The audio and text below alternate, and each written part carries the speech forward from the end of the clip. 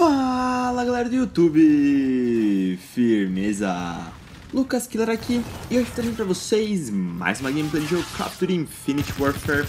Essa aqui é uma gameplay de Domination no mapa Frontier, que é um mapa que tava na beta também, né? Naquela beta que a maioria da pessoa deve ter jogado. E como estão vendo aí pelo título, né? É, é meio estranho, né? Como assim um Diatomizer com a MacTF 45, MP45, sendo que ela não tem um attachment Diatomizer?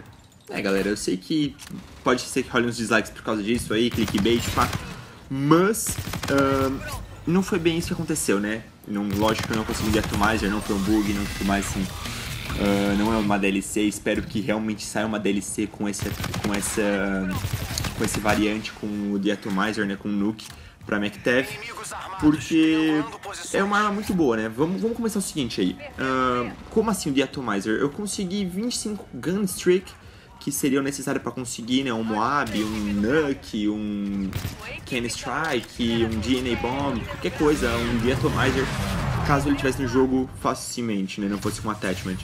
E isso traz um outro problema, né? É, é um, o jogo foi, foi mal feito nesse aspecto, assim. Eu vi outros youtubers falando e a gente tem que aceitar isso, né?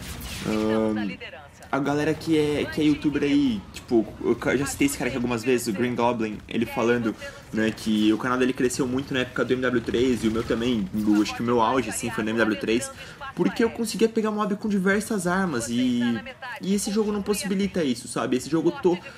Na beta eu não gostei, fiquei meio assim, eu ia comprar mais pelo COD 4, só que sabe, eu acabei pegando, tô jogando mais isso que o COD 4, o COD 4 joga HQ, mas você tenta pegar de Atomizer, pô, mano, eu tô jogando, eu tô quase no segundo Prestige e eu ainda não consegui liberar uma arma que tenha um variante de, de, de Atomizer, né, de Nuke. E eu já consegui uns dois, uns, pra não falar dois, eu consegui já uns 5, 6.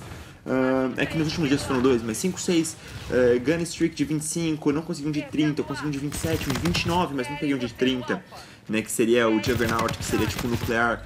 Mas, sabe, você tenta pegar um negócio assim, pra quem é youtuber é muito chato, você tenta dar uma é, como faz, uma try hardada, né?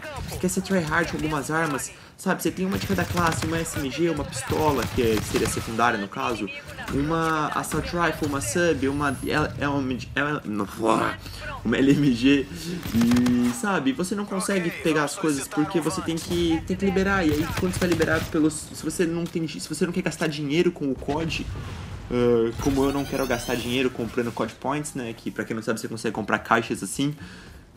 Sabe, você se ferra, você tem que ficar. Tem que jogar muito pra conseguir liberar a arma, mano. Eu não tenho tempo pra jogar tanto assim, que nem eu tinha, sei lá, época da MW3, uns 4, 5 anos atrás.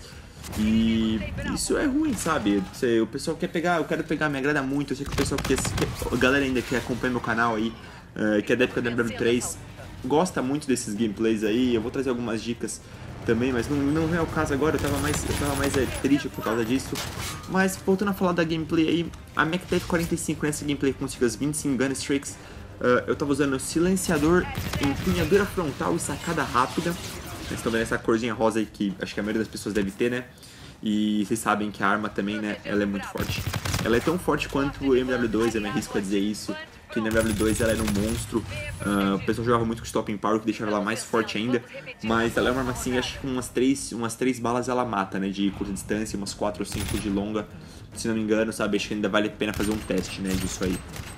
E esse mapa também não tem muito o que dizer, né? Eu, eu comecei a decorar alguns spawns e eu até querendo trazer uma nova série por conta disso. Mas continuando esse gameplay aqui, é, tem alguns spawns que é fácil de decorar, vocês vão ver que eu mato várias pessoas facilmente, uma hora pegando elas acabando de nascer, os caras tentando buscar, eu tô driblando e tudo mais e pego os caras nascendo. É tipo um spawn trap solo, então é bem legal. E, e vendo outros youtubers aí, eu vou trazer isso explicar um pouco melhor no próximo vídeo, ver alguns youtubers brasileiros, eu vou voltar a trazer dicas porque tá muito fraco o cenário, o cenário de COD no YouTube brasileiro tá muito fraco. Então eu me sinto na necessidade, não que eu seja tipo, muito bom ou alguma coisa assim, mas os youtubers de COD de Open Lobbies são muito fracos nesse jogo. Não nesse jogo, né? Nos últimos dois, três jogos tinha um ou outro que salvava e a maioria de canais até grandes são bem fracos, né? Então vou trazer algumas dicas aí pra vocês. Um, Provavelmente, se der tudo certo, semana que vem começa já essa série de dicas aí, com algumas. Vou começar das básicas às mais complexas. Mas é isso aí, galera. Se você gostou desse vídeo e quer ajudar com a avaliação e divulgação, clique no like adicione nos favoritos aí, que ajuda bastante. Se tiver alguma dúvida, comentário, clique, é só botar nos comentários aí que nós responde. E se você não é inscrito no canal, clique no botão se inscrever-se para não perder os próximos vídeos, porque sabe, né? Uh, eu ainda não tenho um dia certo para postar, então é bom você se inscrever aí pra não perder, né? Mesmo com o YouTube um pouco bugado. Valeu, galera, e falou!